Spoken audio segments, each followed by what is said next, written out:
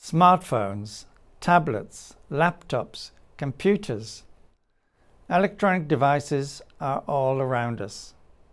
We depend on them more and more for work and for play.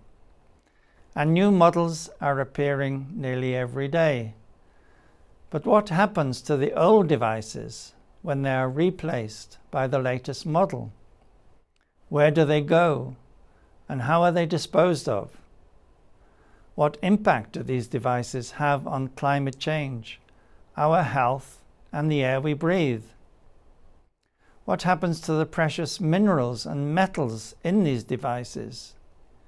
Did you know that there's 100 times more gold in a ton of mobile phones than in a ton of gold rich ore? I'm Malcolm Johnson, Deputy Secretary General of ITU, the United Nations lead agency for information and communication technologies. We at ITU have been addressing these issues for well over 10 years now.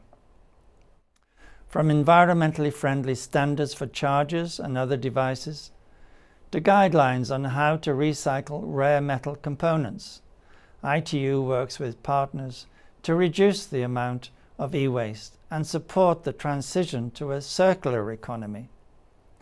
ITU's member states have committed to increasing the global e-waste recycling rate to 30% by 2023.